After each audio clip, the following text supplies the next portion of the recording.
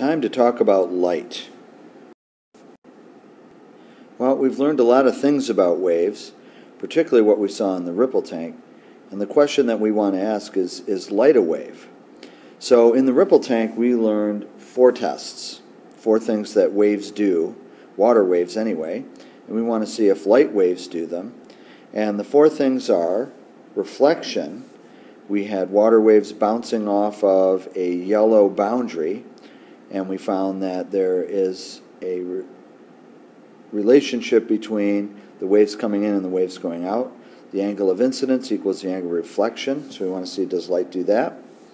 There's refraction or bending when light goes uh, from one medium to another, does it bend? Because in the ripple tank, when water waves went from a deep end to a shallow end, they change direction, which is called refraction. We want to see if light does that. Does light diffract? Diffraction is the spreading out of waves beyond an obstacle or a barrier in their way. Does light do that? And finally, does light interfere? If there are two sources of light, will I see constructive and destructive interference, maximums and minimums, nodes and antinodes? So let's explore this. Let's first of all talk about reflection. So let's remember what happened in the ripple tank. In the ripple tank, we had a boundary, which was a big yellow plastic thing, and we had water waves made by the ripple maker, and those water waves came in and they hit the boundary, and then the water waves reflected off like this. So what we did is we represented the incoming water waves with one line, and this is called a ray and then we represented the reflected line waves with another line, also a ray. So we would say that's the incident ray, that's the reflected ray. Then we drew in a reference line to make measurements, and this reference line is called the normal because it's perpendicular to the barrier. So that's the normal line for measuring. And we notice that when we made this drawing that we drew in the angle that the incident waves are making with the normal. And we call that angle the incident angle, which here is labeled I. And in the same way, we measured the angle that the reflected rays, or reflected waves made with the normal, and that too we measured, and that's called the reflected angle. And so we got the law of reflection, which simply said that the angle of incidence, they call it I, equals the angle of reflection.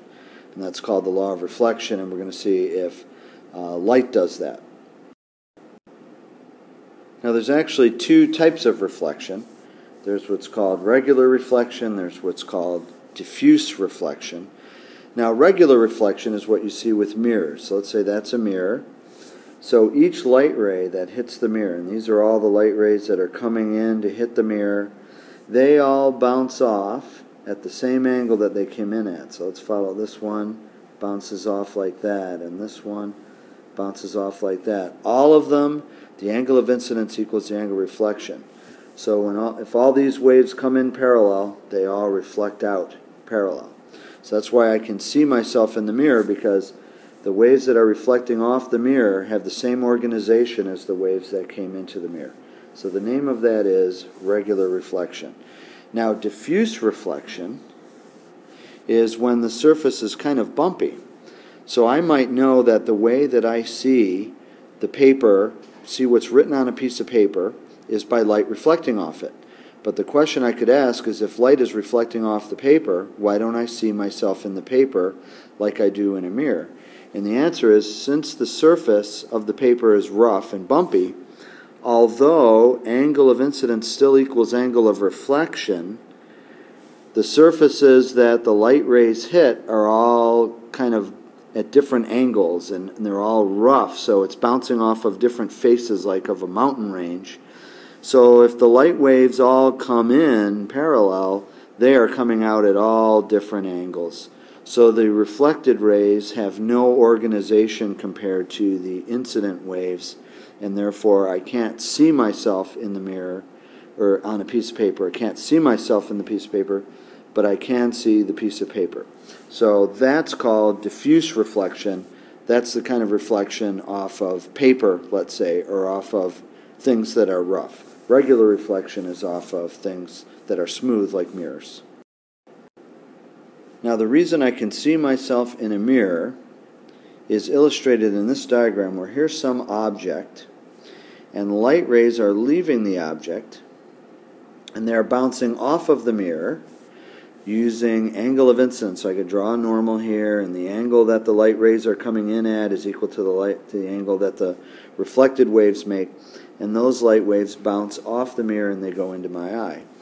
But my eye, or actually my brain, does not really understand this bending, this bouncing thing right here, that my eye doesn't really understand the mirror thing. My eye always believes that light has always traveled in a straight line.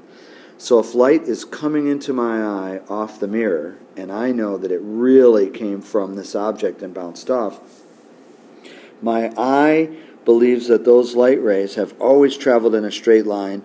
So my eye sees an object that is behind the mirror, tracing these light waves back to where it looks like. It looks like they're coming from here we know that the light has bounced off the mirror like this, but it looks like the light rays are coming right from here and going into my eye. So in my brain, I view an image right here, which is an image of the source of the light rays, which is called an object. So if there's really an object here sending light rays off the mirror, my brain thinks that there's really a source of light behind the mirror.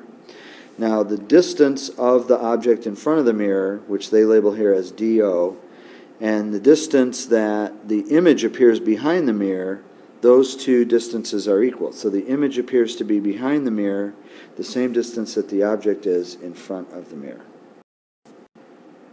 So now let's talk about refraction. And the question is Does light change direction, which is called refraction, when it's entering a different medium? Now, in the ripple tank, the different medium was a shallow end. So we had light water waves go from the deep end to the shallow end, and we saw the waves bend or change direction, which is called refraction.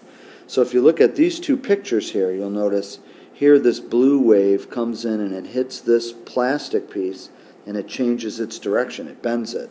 So that's refraction. And this yellow one bends once and it goes inside, and then it bends again when it comes out. And this red one here, notice, bounces off the surface and doesn't come out, goes through the plastic down to here, and then comes out. So clearly the light is changing direction. Now this picture here, this is some liquid material, and this is a powerful light beam. And I notice that the light beam is bending when it goes into the liquid. And I also see that it bounces off. So some of this light energy is reflected and some of it's transmitted into the light, and that transmitted light is bent or refracted. So it looks like the answer to this question is yes. All right, let's look a little more carefully at that picture. Um, here's the light beam, and here's the new medium right here. So the light beam, when it gets here, does two things. One is reflect off, and I notice that the angle of incidence, which would be right here, and the angle of reflection, which would be right here, they don't have it marked, those two angles are equal. So I can see the law of reflection is maintained here.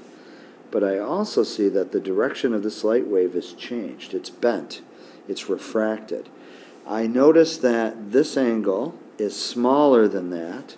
So we would say that this ray is bent towards the normal because this angle is smaller than that. So this is an important principle. The light ray, when it slows down, is bent towards the normal. Now this diagram has all of the important things uh, defined. So you have the incident ray, you have the normal line, the reference drawing line, and there is the incident angle, and then you have the refracted or bent ray in the new material, and the refracted angle. And we're going to later on develop a relationship between this angle and this angle and this medium and this medium. So to summarize, first of all, we can define refraction, light travels at different speeds in different media.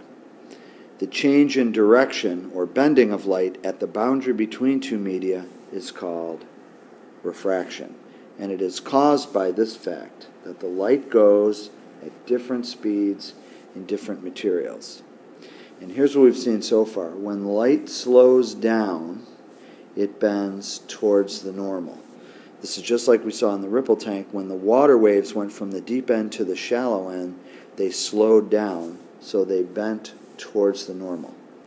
Now, when light speeds up, it bends away from the normal.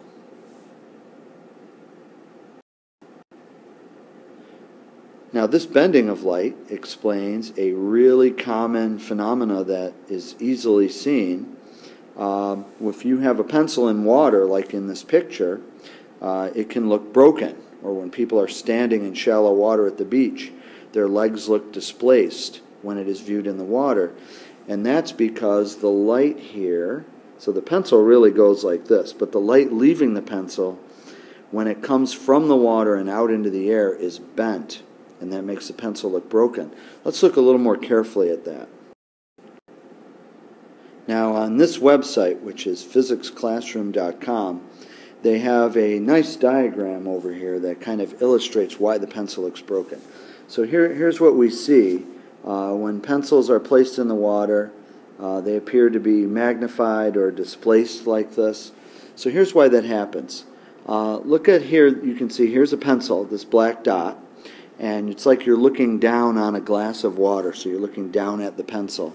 And the blue lines represent the light waves leaving the pencil. So they go like this, and then they get in the air and they bend.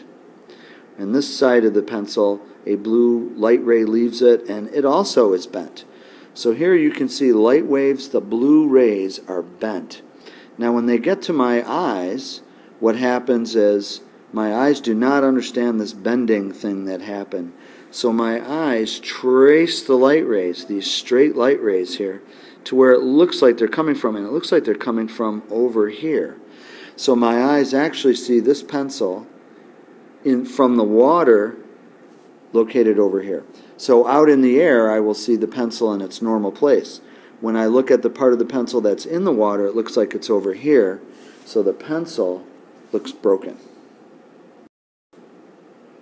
And this also leads to the world famous penny trick that silly uncles do for their kids, where they say, I can make a penny uh, disappear.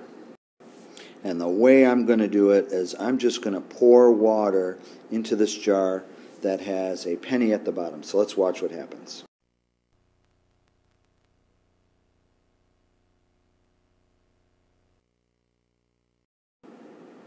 and wow, the penny disappears. Let's see that again.